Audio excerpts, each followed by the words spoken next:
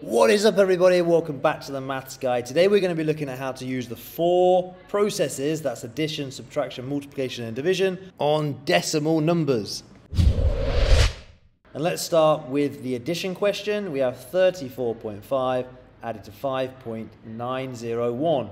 And what we're going to need to remember today is to use our place value chart to help us so that we don't make any small mistakes. So with that in mind, let's have a look at our numbers and decide what titles we're going to have to include.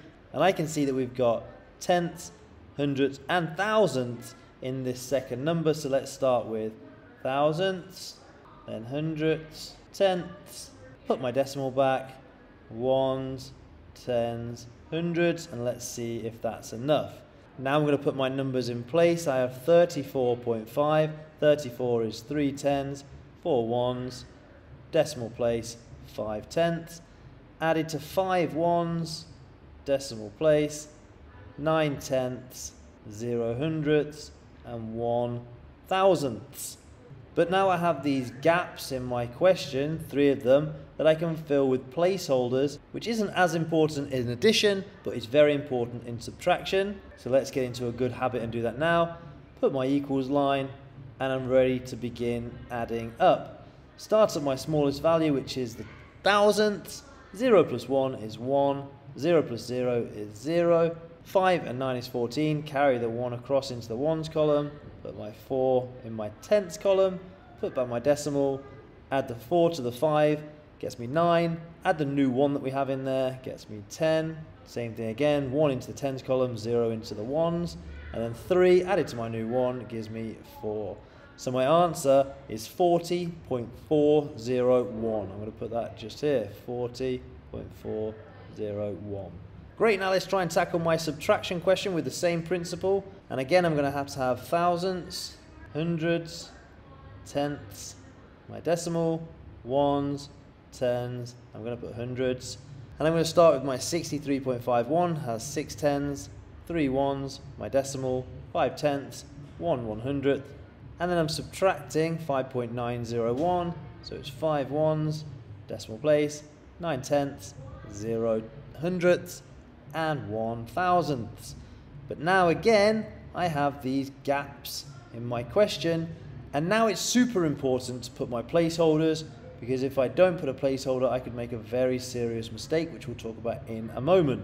Put my equals line, and I'm ready to start subtracting. Now, start at my smallest value, 0, subtract 1. I know this placeholder we've only just put here, but it's very important.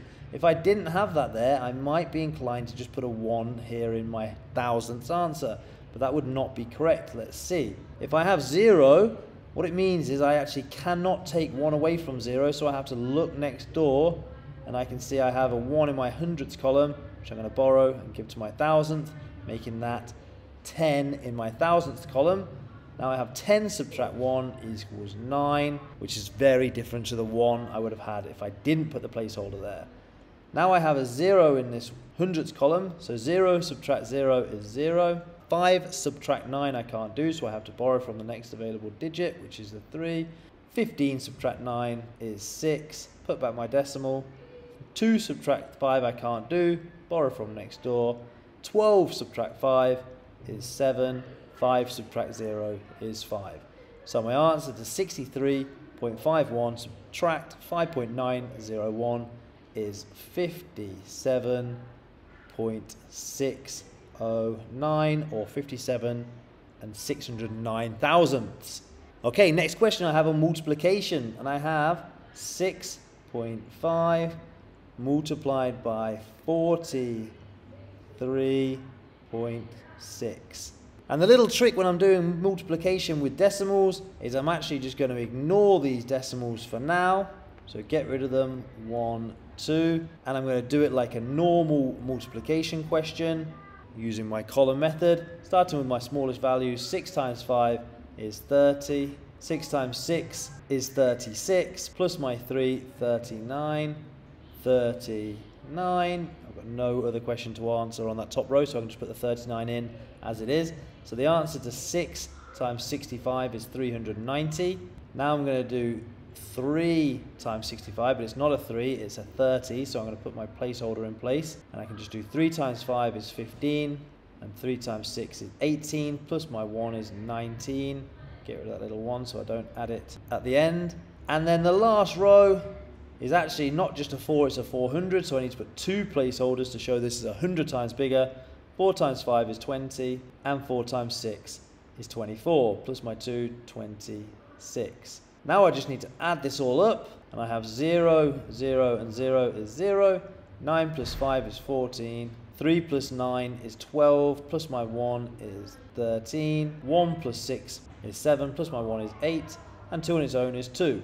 So my answer is 28,340, but not quite, because don't forget I ignored two decimals. And the little trick to remember where to put the new decimal places, how many digits after the decimal did we ignore? Well, we ignored one here and one here. So my decimal at the moment is just here at the end, and I have to move it two places, one, two. So my answer is 283.40, or just 0.4. And last but not least, the division question. I have 45.6 divided by 4. This looks really hard, but it's super simple. All I have to do, how many 4s are there in my 4? I have 1. How many 4s are there in my 5? I have 1, but I then have 1 remainder, which I'll bring over here. How many 4s are in my 16? Well, there is 4. Carry the decimal up, and my answer is 11 0.4. And there you go, that is how to use the four processes or the four operations in mathematics with decimal numbers. But before you go, have a go at answering these four questions yourself to see if you've understood it. Take some time, press pause on the video now and put your answers in the comment section. Press pause now. Good luck. And there you have it. That is how to use the four operations with decimal numbers. A great lesson for year 6, year 7 or year 8 maths. Hopefully this video has been helpful for you. If it has, check out the mathshelter.com where you're going to find loads more videos to help you with everything you need to know about maths. But for now guys, I'm going to see you in another video. Peace out.